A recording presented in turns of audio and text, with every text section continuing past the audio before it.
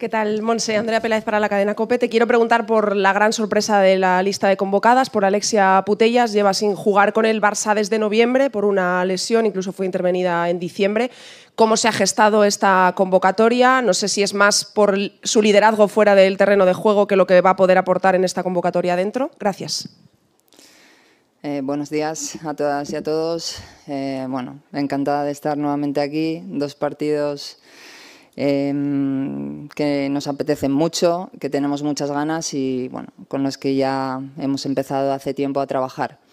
Eh, respecto a tu pregunta, Andrea, bueno, Alexia sabemos que es una jugadora importante para el equipo, es nuestra capitana, siempre lo ha sido y desde el punto de vista deportivo valoramos como eh, una jugadora que tiene que estar en estos partidos. Sabemos el proceso que ha tenido a nivel de su rodilla, y sabemos que está en un proceso de readaptación con su club.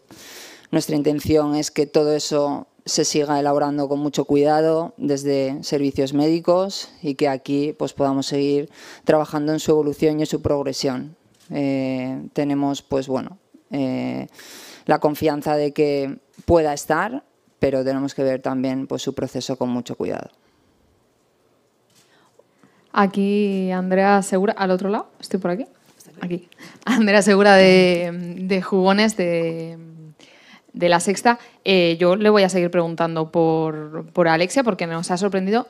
¿No cree que es un poco, eh, a lo mejor me atrevo yo también con la palabra, arriesgado convocarla sin haber jugado, no ha entrado en una convocatoria, es verdad que queda una semanilla, pero ¿no cree que es arriesgado? Porque ese proceso lo puede seguir con relativa calma ¿no? en el club. Gracias. Estamos atentas a, bueno, atentos a todo lo que está haciendo Alexia desde que pues, eh, la han vuelto a intervenir. Eh, sus sensaciones son buenas. Ella está haciendo su trabajo de redactación bueno. Eh, tenemos la comunicación diaria y esa información la tenemos. A partir del lunes vamos a seguir con ese proceso, con los, con los profesionales que pueden atender a eso y yo desde mi punto de vista como entrenadora sigo pensando y sintiendo que es una jugadora importante para estar aquí.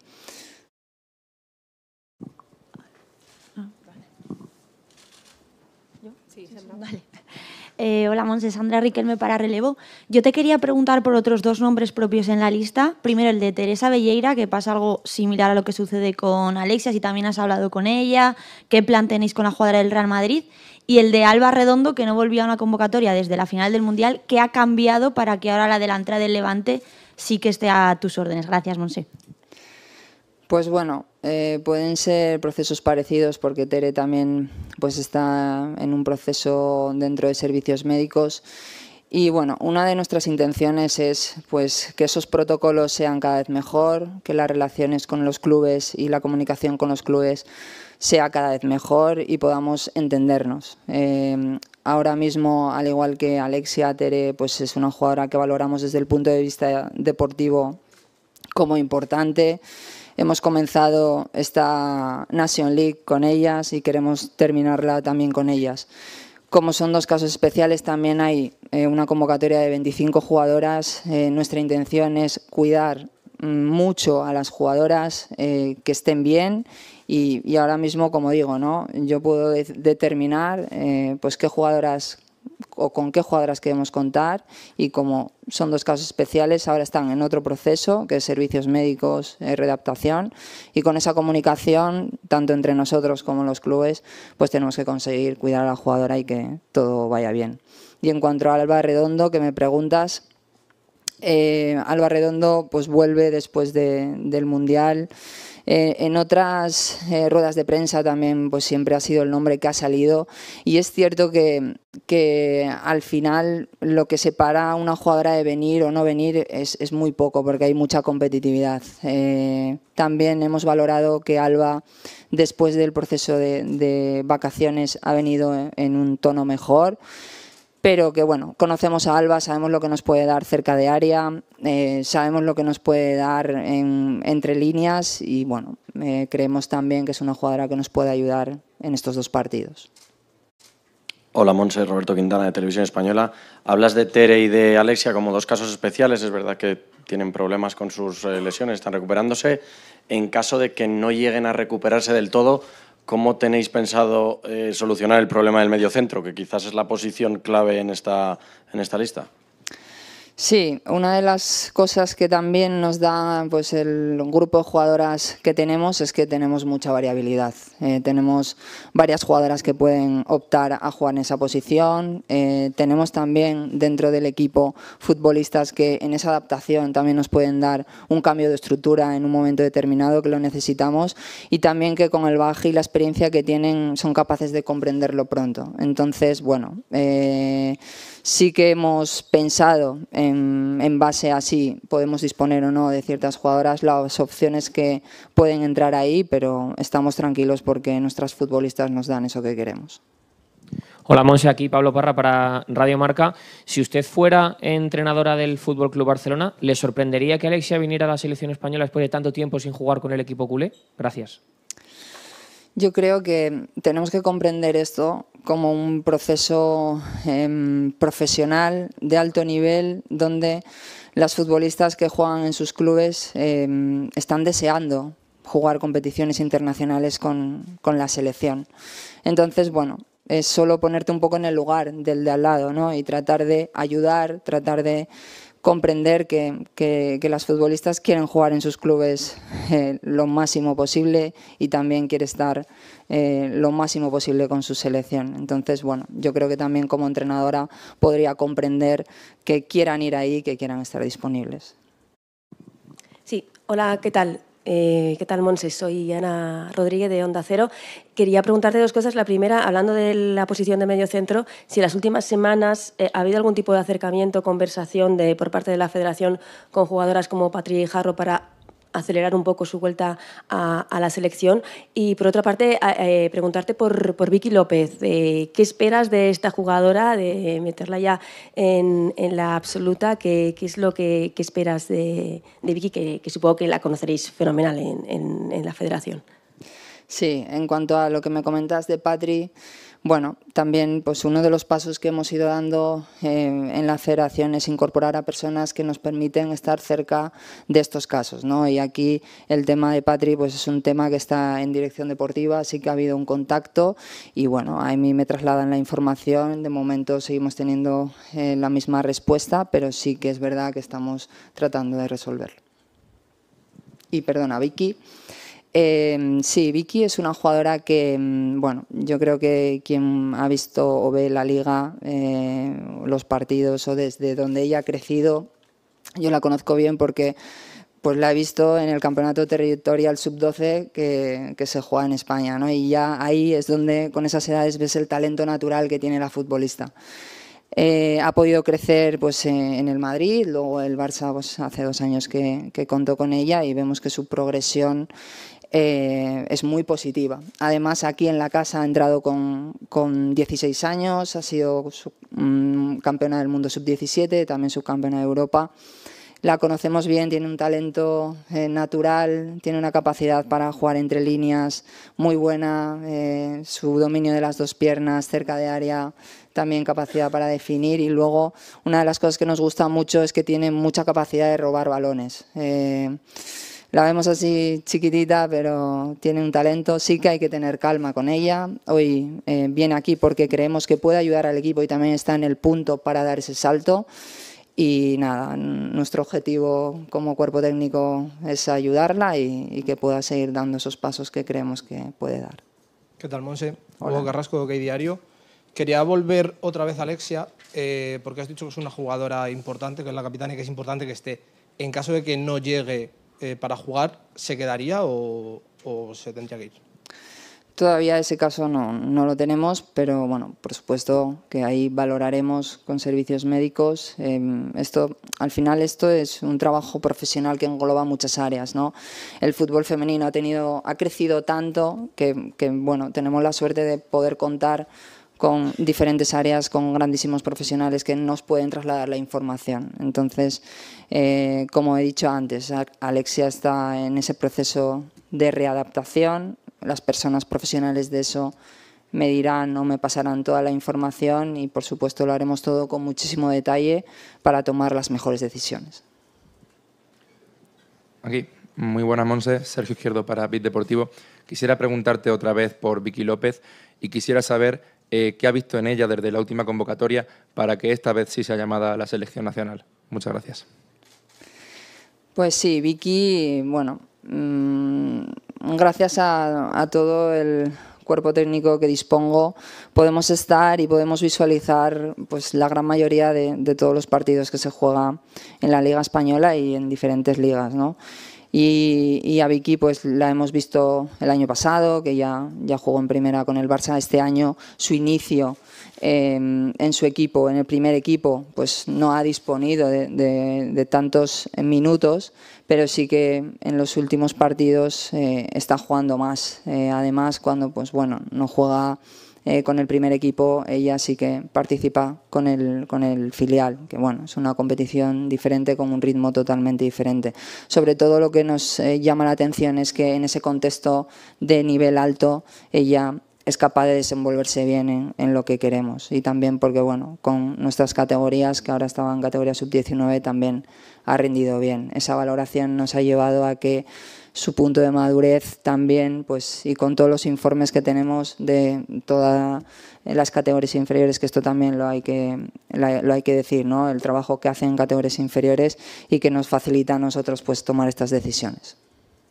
Buenas, Sebas Gim de TV3. Eh, quiero también, sin ser reiterativo, volver a Alexia, porque al, en el hecho de ser una jugadora que está lesionada desde hace tanto tiempo, que ha pasado por una operación, que está en readaptación y que no va a jugar mm, muy posiblemente en ninguno de los dos partidos por, su situación actual, la colaboración entre clubes entiendo que está bien, la información que se haya compartido, pero ¿ha hablado usted con, con Alexia Putellas? ¿Le ha, ha tenido alguna charla para decirle, oye, que igual vienes aquí para hacer grupo, para hacer lo que sea, porque habla de, los servicios médicos, determinarán si continúa o no. ¿Hablar con la jugadora ha sido posible? A ver, mm, la primera intención para que vengan a la selección es que puedan jugar. Entonces, bueno, primero tiene que pasar eso. Eh, lo primero que nosotros hemos valorado que es una jugadora que nos puede ayudar dentro del campo, ¿vale? Pero que es un proceso especial, como ya he comentado, y que por ese proceso especial ahora pues está en manos de otros profesionales. En base a eso, pues decidiremos. Eh, yo creo que en este caso de Alexia, que bueno, comprendo que ha tenido mucha expectación por todo lo que comentáis, ¿no? Pero eh, nosotros también pues hacemos eh, nuestro trabajo, pensamos en los partidos que tenemos. Eh, el partido de Países Bajos es, es, el partido que nos separa de los Juegos Olímpicos, una competición que sabéis que hemos empezado, pues como hemos empezado, hemos conseguido estar en este punto ahora y esto es muy bueno. Y, en cuanto a lo de Alexia, yo creo que con todas las preguntas que me habéis hecho, ya podéis hacer mañana la noticia. O sea que, no hay nada escondido, no hay nada raro y no vamos a hacer ninguna locura. Muy, buenas, eh, muy buenos días, Monsentomé. Soy Moisés Crespo para Revoluters. Quería, tenía dos preguntas, una sobre esta convocatoria qué cualidades puede aportar Seila García en este regreso a la selección y eh, ya mirando para el partido contra, contra eh, Países Bajos, eh, España pues en los últimos tres partidos ha recibido siete goles y quería preguntar sobre cómo mejorará esa faceta defensiva para esa Final Four. Sheila García, eh, bueno, ha tenido pues el momento previo al Mundial en que una lesión la ha dejado fuera. También con, Sheila pues he trabajado mucho durante todos estos años y es una jugadora que nos da mucha polivalencia. Eh, ha, jugado de lateral, eh, yo también la he tenido en edad sub-23 y ha jugado de interior, también como extremo, mm, cuando estaba en el Rayo también lo hacía de carrilera. Bueno, creo que nos puede aportar mucha versatilidad y que sus condiciones pues le da para mucho. tiene mucho recorrido y, sobre todo tiene mucha calidad. Entonces, bueno, también nos alegramos de que al final pues, eh, pueda estar ayudándonos. Y en cuanto a lo que comentas de los goles que hemos encajado, eh, sí que es verdad que somos la selección de todas que más goles ha conseguido. Eh, hemos evolucionado, hemos mejorado nuestra fase ofensiva, creo que, que atacamos mejor y más veces, pero también en fase defensiva podemos mejorar. Eh, tenemos que mejorar en situaciones, eh, sobre todo pues, eh, de esos duelos que, bueno, a nivel internacional y en contexto internacional es muy, es muy importante dominar y que, y que podemos seguir mejorando. También creo que bueno, esto es, es un trabajo colectivo. nosotros siempre formamos o creemos que, que, que tanto el ataque como la defensa forma parte de un todo y, por supuesto pues es una de las cosas que podemos mejorar. Buenos días, Monse. Isaac Avilés de la cadena COPE. Eh, me gustaría saber qué opina del cambio de sede del partido del viernes, si le preocupa que pasen estas cosas y si le parece que es poco serio que, sucedan. Bueno, mm, yo creo que, que, al final son cosas que yo no, que no controlo, son cosas que, bueno, que suceden y, y, ya está. O sea, no, no, es algo que, bueno, que tenga una opinión o no de esto. Eh, vamos a jugar en Sevilla. Sevilla, la Cartuja es un estadio eh, grande, es un estadio donde ya hemos jugado, lo conocemos bien. Y bueno, sí que mm, animaría a, toda España a animar a la selección. Estamos ante el partido más importante de España en España. Eh, va a haber capacidad para muchos espectadores y, esperemos que, pueda haber mucha gente eh, ayudándonos en esos momentos eh, importantes que las jugadoras necesitan que estemos ahí y, y, que haya mucho público y también que realmente pues, lo podamos hacer disfrutar. Hola Monse, David Menayo, el diario Marca. Yo quería preguntarte por tres nombres propios también ausentes en la lista y los tres perfiles diferentes que no tiene esta selección. Uno son el de Sheila Guijarro y Cristina Martín Prieto, las dos máximas goleadoras españolas en la Liga F, y otro el de Vero Boquete, máxima goleadora de la Serie A. No encajan en tu modelo de juego, no los ves hueco en la selección, están en las quinielas o ni siquiera eso. Gracias. Sí, al final, bueno, son, son perfiles, em, yo creo que, em, que, con las jugadoras que tenemos cubrimos todos los perfiles que necesitamos. Eh, siento que, que, tenemos gol, siento que, que, tenemos capacidad para elaborar bien las jugadas, siento que tenemos capacidad para salir bien desde atrás y creo que mm, estas jugadoras nos dan mucha variabilidad a diferentes eh, estructuras, diferentes situaciones, pensando en lo que no podemos encontrar y en lo que, en lo que queremos ser nosotras.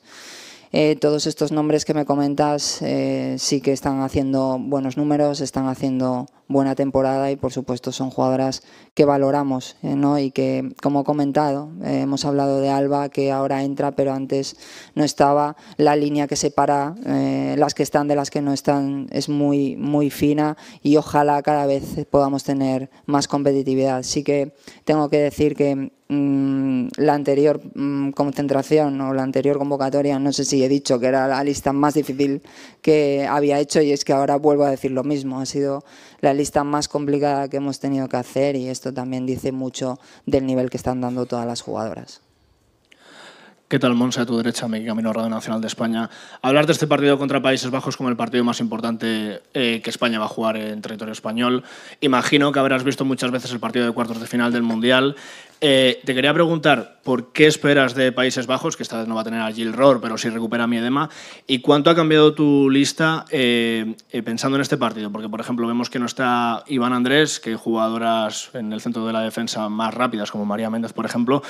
¿Cuánto has pensado en ese partido y cómo has configurado la lista pensando en él? Pues esa es una de las cosas eh, por cómo hacemos la lista. Eh, las necesidades, lo primero que queremos ser como equipo y luego pues las necesidades que tenemos para cada partido. Eh, si te dijera cuántas veces he visto el partido o hemos visto el partido, igual nos, nos, dirías que estamos locos, ¿no? Pero es que al final es la referencia que tenemos para valorar eh, lo que han hecho ese rival contra nosotros. Países Bajos es una gran selección. Eh, en ese partido mm, tuvimos momentos de mucha competitividad y ha hecho una gran fase de, de clasificación de Nation League, dejando afuera a selecciones como Inglaterra. Yo creo que nadie tiene duda de que va a ser un, equipo de altísimo nivel. Sabemos que que cuentan con una jugadora arriba, Berenstein, que, además eh, tiene mucha capacidad goleadora y de hecho ha hecho seis goles.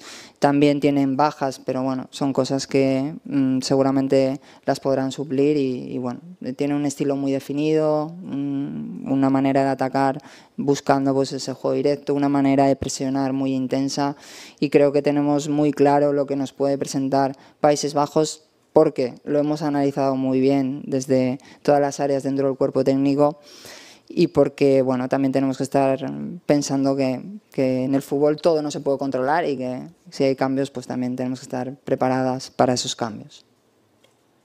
No tengo ninguna solicitud más, solo Andrea que va a repetir, pero no sé si pues, le damos primero a ella y las dos últimas. Disculpa. Nada. Eh, Marta Griñán para el diario AS. Eh, yo quería preguntarte por otro nombre propio, también un poco en la línea de, de Guijarro. Eh, es Carmen Menayo. ¿Qué le diría a esas jugadoras que están haciendo una gran temporada o que llevan tiempo llamando a las puertas de la selección, pero no llegan? ¿Tienen todas las mismas oportunidades? ¿Qué les diría para que sigan motivadas con poder tener esta oportunidad de venir a la lista? Yo creo que mm, al final representar a tu país es algo muy bonito con el que bueno, toda jugadora española debería luchar y, pensar. Eh, en este caso pues me hablas de Carmen Menayo, que también la he tenido en edad sub-23, la conozco bien, pues tanto a Carmen como a todas las futbolistas que quieren o mm, desean estar o han pensado que vayan estar y no están, pues que sigan trabajando. Al final el fútbol, la élite es así, eh, las que no están pues pensarán que somos injustos con ellas, pero nosotros tratamos de elegir lo mejor para la selección, lo mejor para estos dos partidos y a todas las demás lo único que podemos hacer es que sigan trabajando, que sigan con el foco en lo que les eh, dicen en sus clubes, seguir mejorando y, y así estarán más cerca de poder venir. Andrea, la última. Sí, eh, aquí Andrea Segura de Jugones. Eh, yo le quería preguntar también por esos nombres que ha comentado el compañero. Eh, vemos a Laia, no está teniendo minutos porque ha decidido no pues convocarla. ¿Cuáles son los motivos que han visto que, que puede ser determinante en esta convocatoria? Y también mm, saber también el, el por qué concreto Usted estuvo ayer en el partido mm. del Atlético Real Madrid. O sea, no le han comunicado que Ivana, que suele ser habitual, tenga alguna dolencia, si es simplemente una decisión técnica. Gracias. Sí, en cuanto a lo primero que me comentas eh, de la Iacodina, eh, confiamos mucho en la Iacodina. Eh, una de las cosas que nosotros valoramos para poder traer a las jugadoras es que en nuestro contexto internacional, cuando han estado con nosotras, han dado un gran, un gran rendimiento. Eh, la semana pasada estuvimos eh, en la Copa Inglesa viendo en directo al Arsenal contra el City y ahí pudimos ver cómo Laia Codina pues entra y los minutos que entra los hace a gran nivel. Al igual que eh, pues las jugadoras mm, la 24 que separa de la 23 no hay diferencia a veces cuando elegimos 11 la 12 pues bueno, buscamos los entrenadores ¿no? y no es por eso que están mal. Entonces confiamos en la Iacodina mucho, porque la conocemos bien. Y en cuanto a lo que me comentas del partido, mm, bueno, al final yo creo que tanto mi cuerpo técnico como, como, yo solemos estar en los partidos que creemos que son importantes para ver a las jugadoras y ahí pues valorar su actuación. Y por supuesto todas las decisiones que tomamos son deportivas.